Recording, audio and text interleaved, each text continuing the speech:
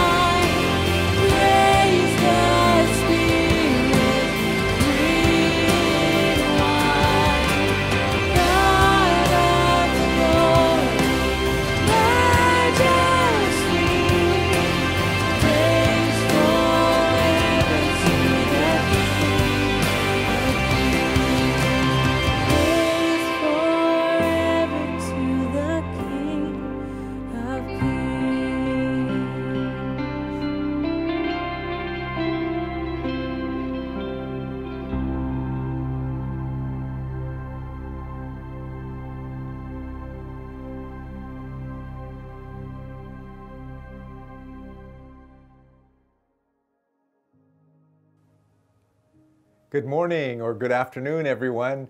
I hope you enjoyed a great Christmas break with your family, in your household together.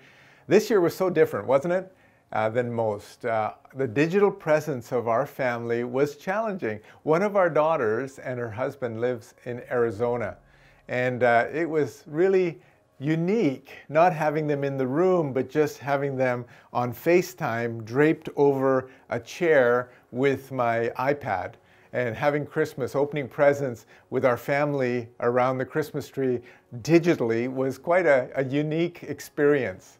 So I hope that your unique experience was the same, but you didn't lose the meaning and the warmth of Christmas. I want to commend you all for persevering with the current restrictions of COVID 19. Uh, we know they're not forever, but it has made December uh, and the Christmas season so challenging at times. So thanks for praying, thanks for persevering, and uh, getting through this time together. I want to encourage you with a verse today. James chapter 1 says, Count it all joy, my brothers and sisters, when you meet trials of various kinds. I want you to know if you looked at that original word trials, there are two kinds of trials that um, James actually points to. There are light and momentary trials, and then there are severe trials. And what we're going through right now with COVID 19 is a light and momentary trial. We know that this is difficult, and we don't want to minimize that, but certainly our lives are not at uh, uh, a peril of being uh, lost. Uh, if you are practicing safety and health in your home. So many trials of various kinds. For you know that the testing of your faith produces steadfastness, and let steadfastness have its full effect, that you may be perfect and complete and lacking nothing. Romans, Paul writes to the Roman church, and he says, We rejoice in our sufferings, knowing that our suffering produces endurance, and endurance produces character and character produces hope. And hope does not put us to shame because God's love has been poured into our hearts through His Holy Spirit who has been given to us. So we know God's Holy Spirit has been given to us for such a season like this. Empowerment for witness is one of the reasons we are baptized in the Holy Spirit, but also endurance, courage to uh, overcome some of these sufferings or trials as Paul and James have pointed out to us. So I want to give you a quick reminder today that um, we are approaching the end of the year. If you'd like to be uh, receipted for your year-end donations, I just want to give you a quick reminder. In order to be receipted for any charitable donations within the year 2020, uh, we would like to receive those by December 30th. Our office is going to be open on that day from 1 to 4 p.m. in case you'd like to stop by and uh, drop off your donations. Please remember that you can give online at any time through APA's website. Prior to December 31st, the year end, you can use text to give or the give button on the website itself. As you know, we've tentatively set a date for our AGM. Uh, we've been announcing it week over week, uh, January 24th, but please be flexible with us because we're trying to work within the restrictions. So uh, the online and on site uh, delivery of that AGM may be adjusted depending on where we are in this global pandemic. Hoping that the restrictions for public gatherings will be lifted and uh, we might be able to get back to some sense of social gathering or public gathering early in the new year. We are so grateful that uh, the uh, medical health authorities are working kindly with us. I've been on calls with uh, Bonnie Henry and others, and we're trying to make sure she and her team understand the special circumstances around church gatherings and how important and essential religious gatherings really are. Please remember in preparation for our AGM, your submission for potential uh, board member candidates can be received, but they must be postmarked by January 3rd. So that's just next week, and we'd like to receive those. You can email them into our office or use postmail, but we'd like to receive them prior to January 3rd so that we can process them uh, in time for the AGM on the 23rd of January. Please remember, just quickly, that all those nominations are to be submitted in confidence because the nominating committee has to process those um, nominations biblically, constitutionally, and ecclesiastically using criteria that's been predetermined. I'd like to uh, invite you to discover more about becoming a member of APA, and you can do so by going online. There is a uh, form that's online that will trigger a membership process, or you can call the church office, and um, Pastor Al or Verna would be delighted to hear from you and lead you through that process more personally. This morning, we're going to hear a message, a timely message from Pastor Al Funk. As you know, Pastor Al and Verna have been appointed by our board as interim pastors of care and ministry coordination. They're doing an outstanding job at the church, making sure that the wheels of our church are still moving ahead. And uh, we just want to lend our ear to Pastor Al's message today And at the end of his message, I want you just to be prepared that he's going to lead us in communion. Holy Communion, the sacred elements of what Christ gave to his disciples on that night that he was betrayed, we're going to exchange those at the end of this message. So if you have a moment, just prepare a little bit of juice and a, a cracker or something like that so that you can join in with the communion service at the very end. Let's give uh, Pastor Al our attention this morning. Hello, my name is Al Funk, and together with my wife Verna, we are serving here at APA during this transition period as the pastors of care. And we look forward to meeting you. And if you have a chance to drop by the office someday, uh, make sure you stop in and, and say hello and uh, let us get to know you. As we come to the end of this year, 2020, it's kind of like what do you still need to say in this year? Sermons have been preached, blogs have been written, social media posts have been, have been put up, and, and it's almost like we're just waiting for this year to get over with so that we can get into 2021 and hopefully it's going to be better than it's been. But I think there's one thing that, that I think I want to bring to you this morning, and it's, it's a word for you and for us, maybe as we go into this next year, that we as a church can, can kind of focus on, can, can maybe make our own as we enter 2021. It's the word unity. Unity is, is an interesting word. It's, it's something we maybe don't say a lot, uh, it's maybe not a, a, word that enters our conversation every day. We have a lot that we say now about independence. We say a lot about personal rights. We say a lot about how it's, it's an individual thing. But the reality is that unity is one of the greatest marks of the New Testament church. Unity is one of the things that God calls us to in Scripture. And so I want to read a scripture to start and then we will go from there and talk about what it means to be in unity. The scriptures found in John chapter 17, verses 20 to 23. Uh, Jesus is, is praying for his disciples, and this is his prayer for them. Let me read it. My prayer is not for them alone. I pray also for those who will believe in me through their message, that all of them may be one Father, just as you are in me and I am in you, may they also be in us, so that the world may believe that you have sent me. I have given them the glory that you gave me, that they may be one as we are one, I in them and you in me, so that they may be brought to complete unity.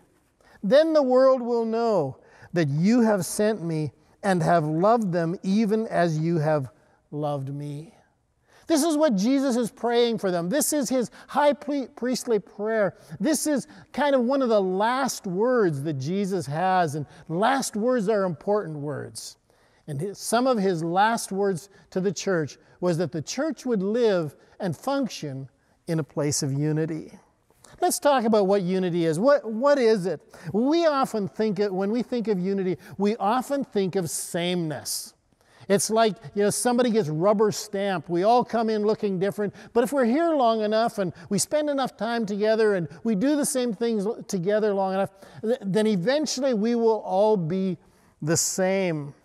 But that's not unity. That's uniformity. That's where we get the word uniform. Everybody looks exactly the same. The truth is that there's a big difference between sameness and unity. There's a big difference between us all being identical and living in a place of unity. And I want to give you a definition for unity that I think really fits what the New Testament is talking about when it talks about unity.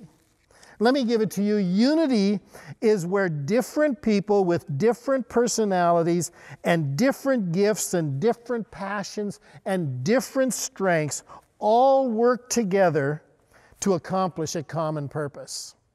When all of us are different, and, and, and, we are, they say that no two people are exactly the same, no two snowflakes are exactly the same.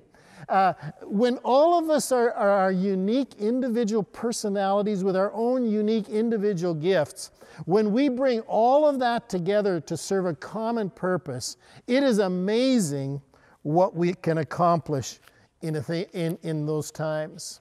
When we look at the scripture in, in 1 Corinthians chapter 12 to 14, where it talks about the spiritual gifts, it is not the fact that they all have the same gift that makes the church strong. It's the fact that they all have different gifts and that those gifts work together to accomplish amazing things in different situations. You know, if we want an example, just our worship team this morning, you know, we have Canyon and we have uh, Robin and other people that, that have, have joined together. They play different instruments, they, they play different notes or sing different notes because some are singing harmony, some are singing the melody, some are singing different parts. But all of those instruments together make up this amazing sound. And the technical people and, and all of the people that work behind the scenes if it wasn't for everyone being different, the sound that you would hear today would be rather kind of monotonous and boring. But it's because of the differences that it comes through as strength. When we look at our physical bodies, one of the beauties of our physical bodies is that the parts are different. I only have one left hand because I only need one left hand. It's the parts of the body working together. When the parts of the body don't work together properly, the physical body, when they don't work together properly, then we get something that we call a disability.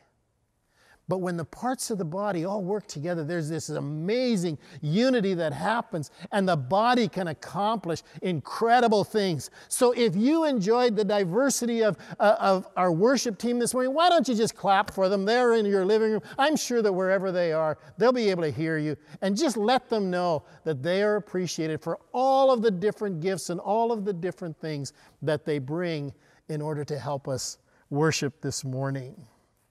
When unity is missing in the church, the effectiveness of the church is, is stymied. It, is, it becomes a disability, actually. It becomes a church that is disabled and not able to do the call of God that He has placed on us. So that's kind of what unity is. It's not sameness, but is all of us using our different gifts and abilities to accomplish a common purpose.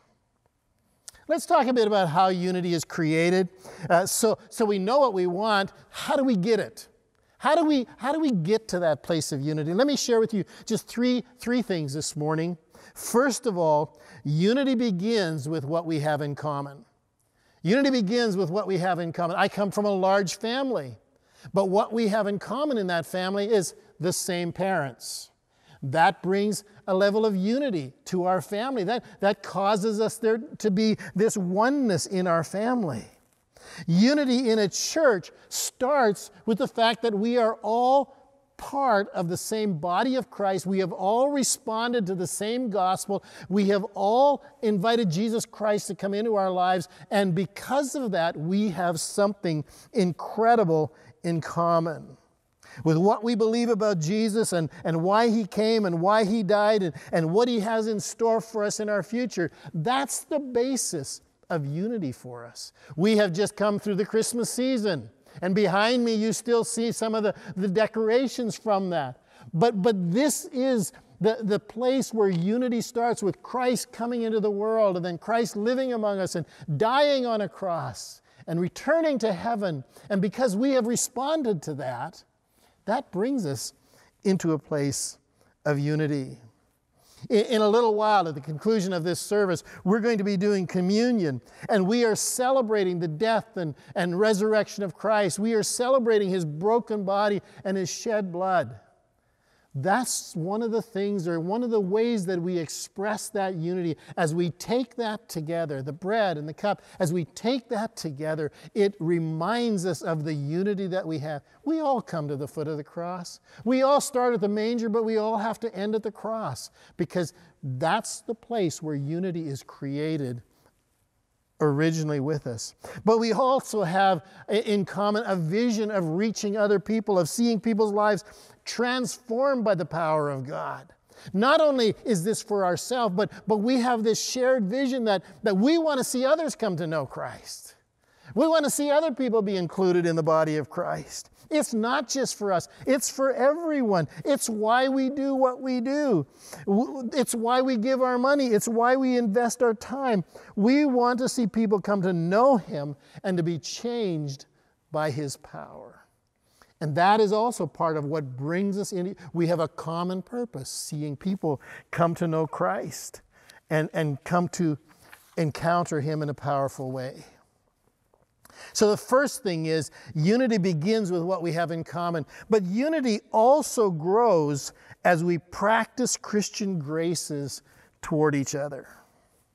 Social media is a great way for us to, to stay connected with family and friends, and uh, it, it's, it's a, a wonderful platform for those reasons. But one of the things that can happen is that we sometimes say to others what we uh, on social media because we're hidden we say to others things we would never think of saying to their face and it's possible that that sometimes we lose our ability to be nice because we think we are anonymous when I talk about practicing Christian graces towards each other, it's really about being nice to each other. Paul says it this way in Colossians 3 12 to 14. Therefore, as God's chosen people, holy and dearly loved, clothe yourselves with compassion, kindness, humility, gentleness, and patience. Bear with each other and forgive one another if any of you has a grievance against someone. Forgive as the Lord forgave you. And over all these virtues, put on love, which binds them all together in perfect unity. The, the image here is of getting dressed. When you get dressed in the morning, you put on your, your socks and your pants and your shirt and all of those things. Well, when we encounter other people, it says that we are to put on compassion and kindness and humility and gentleness. And it's not just put on as in pretend. Now, there are days where you might have to pretend to be nice or kind or gentle. But, but the idea is that these become the character traits and qualities of our lives. Forgiving one another. It's not a question of, do I forgive this person? But it's really a question of, I have committed myself to forgiving. And so it may be a little difficult to work it out in some circumstances. But it's still one of the things we are to clothe ourselves with as believers. And that's part of the, the, the Christian graces. It, it's in all of these things, it's what we do for each other. If you will notice those words in that scripture, if you read them, none of those things are about us. It, it's not that we do this for us, but it says that these are the things we are to do for each other for the other person, that, that in order for us to maintain unity, this is how we live towards others. We are called to live unselfishly. We are called to be servant hearted. Insisting on our own way is the best way to destroy unity.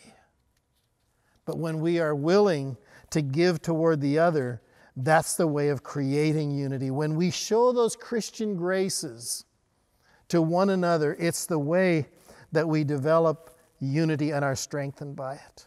The third thing that we do in order to create unity is ultimately we need to understand that it is a work of the Holy Spirit. Jesus prayed for unity in this prayer. He, he prays for unity. He doesn't just say, well, this is automatic. You, you became a Christian, you attend a church, so therefore now everybody is automatically in a place of. Unity. No. He prays for his disciples. These are the same disciples who, on the road, walking from one to play, other, they were bickering about who was the greatest and who was this and who was that. And, and, and Jesus comes to them and says, really, like, like, hey, guys, we don't do that kind of stuff. As Christians, we are called to something higher than that. And he says we are to pray for unity to take place in the body of Christ. One of the things the enemy does to destroy the work of God is, is to destroy unity, is to create division. The Bible says that that's what he does. But we as believers are called to unite ourselves around Christ, around the mission of Christ. We are called to unite ourselves around the purposes of God. And when we do that, it enhances the unity that the Holy Spirit brings into our lives and into our midst. The Holy Spirit is all about creating unity. And so we need to submit ourselves to Him. We need to give ourselves to Him so that He can work out unity among us. So, we talked a little bit about our responsibility to maintain unity, but let me take it another step further. Unity is our responsibility to maintain. In Ephesians 4, verse 3, it says, Make every effort to keep the unity of the Spirit through the bond of, pre- of peace. Is it okay if I get a little practical here for a couple minutes? Over the next few months, we as a church are going to be selecting a new pastor. It's a big job. It's a big job. And, and we need to be, be praying about this. We need to pray for the search committee who'll be starting their work in January. We need to already be praying for that person who will become our new lead pastor praying that God starts to work in their heart. Maybe God has to release them from where they are, uh, or maybe God has to make them willing. We need to pray for that person. This new pastor will lead the church into the next stage of life that God has for this church. And I want to let you in on a little secret, okay? It's just between us. Not all of us are going to get the kind of pastor we want. Not all of us are going to get the kind of pastor we want. Some may want a more charismatic one. Some may want a, a, conservative one. Some may want a young one. Some an older one. Some, some a middle aged one. Some want a great preacher. Others a great leader. Others a more pastoral type. And the list goes on and on and on. And no one person has all of those characteristics or qualities. No one person can fill all of our expectations. No one person can be the one who meets all of those things. The challenge will be can we live in unity even if we individually don't get exactly the kind of pastor we want? Can we still say, hey, I'm part of this body. I'm going to throw myself in. I'm going to be part of what's going on here instead of sitting in the back row and sniping and griping because we didn't get quite what we want or saying, I'm out of here. I'm on to a different church. Pastor Al, you're being kind of tough on us. Yeah, it's better to be tough now and we can, we can be gentle later. But, but, but I just want to sort of say this that, that that we need to say we are willing to be in unity when that decision is made by the body and we move forward. We need to move forward in unity. There's a little interesting piece on the end of that verse, and it says that we do it through the bond of peace. I believe that what those words mean is that we are committed to living at peace and in unity with each other, even when we don't get our own way. You know, it's like saying, God, your will be done. And then when we don't get what we want, we go, well, that's not the pastor I wanted. I'm out of here. You know, can we commit ourselves? God, you obviously know this is the person we need, and we are going to work together. We are going to be part of, of seeing God do amazing things in and through this place in unity. I know it's hard at times, but at times we may have to bite our tongue till it almost bleeds in order to maintain unity. At times we're going to have to just keep our mouths shut Pastor Al, you're starting to meddle. I'll move on, okay? But I just wanted to say that. I want to encourage you towards saying, I am going to be part of the future. I am going to be part of what God's going to do. I am going to be part of this. And, and, and wh- whoever God brings through the process He uses, I am committed to living in unity with this body. John 17, 23 says, so that they may be brought to complete unity. Then the world will know that you sent me and have loved them even as you have loved me. Can I tell you something? It's not our programs or our spiritual gifts or our great worship that speaks to the world around us. Most of the time, they ignore those things, to be honest. Those things are more for us inside the church. But what speaks to the world the most about who we are as a church is when we can live and work together and walk in unity with one another. Last thing unity is the place of God's blessing. Unity is the place of blessing. It's amazing what can be accomplished when a group of people work together for a common purpose. It's even more amazing what God can do with that group of people. Psalm 133 is a verse that many of you know. How good and pleasant it is when God's people live together in unity, for there the Lord bestows his blessing, even life forevermore. The birth of the church came out of a place of unity in Acts 2 1. It says, When the day of Pentecost came, they were all together in one place. Another translation says, in one accord. That day, about 3,000 people were added the church. We'd say that's a pretty good Sunday, wouldn't we? We can keep going on, but let me wrap this up. Just from what I see here, unity is more important than worship style. It's more important than gifting. It's more important than preaching. All of those things are good and they are important. But without unity, we miss out on God's blessing for us in the body of Christ. Jesus prayed this prayer for his followers shortly before he left them. And it can be a prayer for Abbotsford Pentecostal Assembly as we go into 2021. Can we make this our prayer as well? God, that you would help us to live in a place of unity, to worship in a place of unity. May we be one. May unity mark this church. May we be brought to a place of complete unity. Not sameness, but unity. Remember our definition from earlier. Unity is when people with different personalities and gifts and passions and strengths work together to accomplish a common purpose. And let me encourage you that with this when that happens, anything is possible. Let's pray.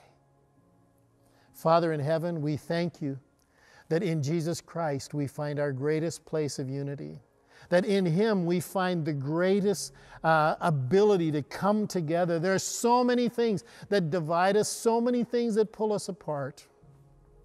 But God, I pray that our focus would be on Jesus Christ, on, on His birth, on His death, on His resurrection, that our focus would be on seeing other people come to know Him as well. That we would put aside our, our, our differences or our, our preferences. And God, we would focus on those things that we have in common and those things that bring unity to our body. We pray that 2021 would be an amazing year for APA as we move forward into it with anticipation and excitement. And we look forward, God, to what you are going to do among us because you will do great things as we work in unity. God, God we commit this to you in Jesus' name. Amen. As we move into communion, um, I want us to take a look at 1 Corinthians 11, uh, 23 to 26. For I received from the Lord what I also passed on to you. The Lord Jesus, on the night he was betrayed, took bread. And when he had given thanks, he broke it, and he said, This is my body, which is for you. Do this to remember me. And in the same way, after supper, he took the cup, saying, This cup is the new covenant in my blood. Do this whenever you drink it in remembrance of me. For whenever you eat this bread and drink this cup, you proclaim the Lord's death until he comes. I hope you've had time to, to find something you can use for bread and also something you can use for the cup, and that you're ready to share this with us now. This is ultimately what brings us together. This is ultimately the greatest thing, and we mentioned it just a few minutes ago that, that it's the gospel. It's finding ourselves at the feet of Jesus. It is, it is inviting Jesus to come into our lives, which brings us into the family of God and which unites us and causes us to be one. It is through the shed blood and the broken body of Christ that we are brought into unity in the family of God. It's not because we're all particularly good looking. It's not because we're all particularly talented.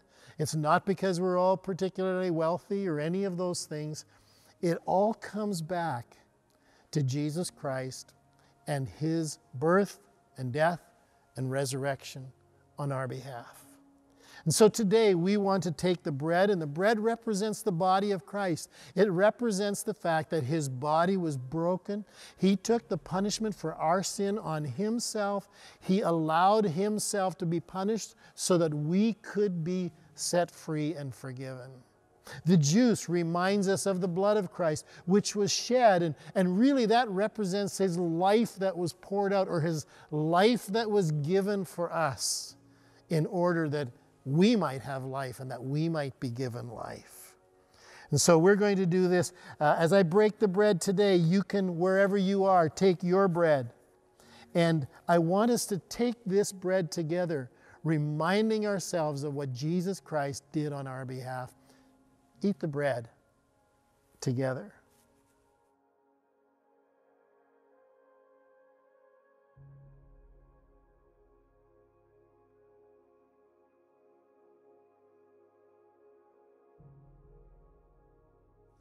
And now I invite you to take the cup and to drink it, remembering that the blood of Christ was spilled in order that we could, through his death, receive life, in order that we could be forgiven, in order that we could be set free. I invite you to drink the cup together.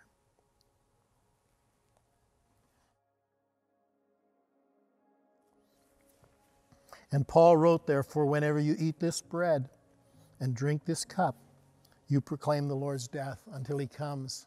It's not just that we're saying it happened, but what we're saying is we are proclaiming that this is something that we have personally partaken of in our lives. Just like we eat the bread, take it in, just like we drink the cup, take it in, so we have taken in the sacrifice of Christ on our behalf.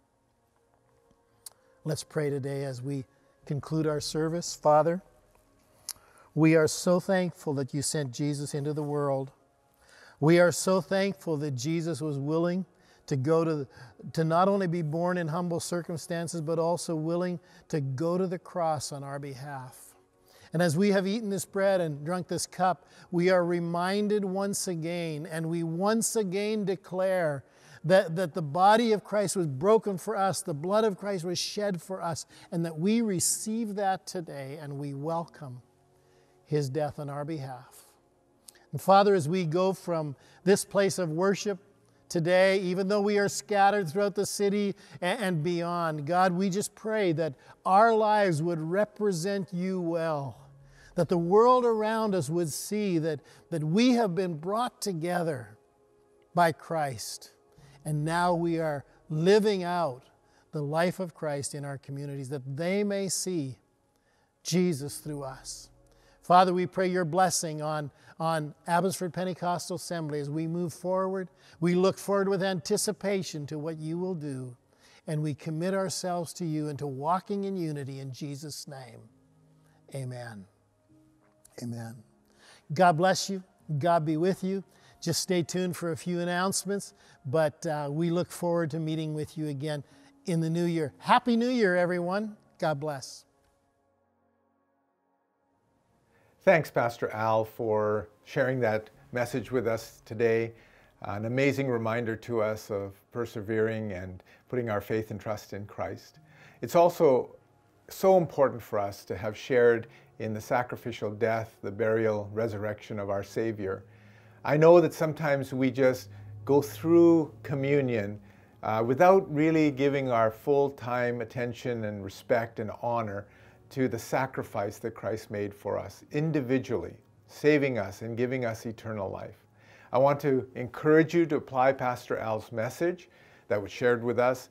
Apply it to your life today and uh, prepare now for a great new year ahead. I know the date on the calendar will change in a few days and uh, it'll become 2021, but we also understand that the difficulties of 2020 have not yet been overcome. So, as the calendar changes, maybe what changes with it is our attitude and our attitude toward having hope in a new future where Christ is working things out. Let me also thank you and commend you for your generosity. If you'd like to invest in the shared mission, please check out our online options. And just a quick reminder that you can give through text to give or the give button on our website, or you can simply drop by the church office. On December 30th, we're opening the office from 1 to 4 just so that we can receive any year end donations so you can be receipted in the calendar year of 2020. Thanks for being generous to our church.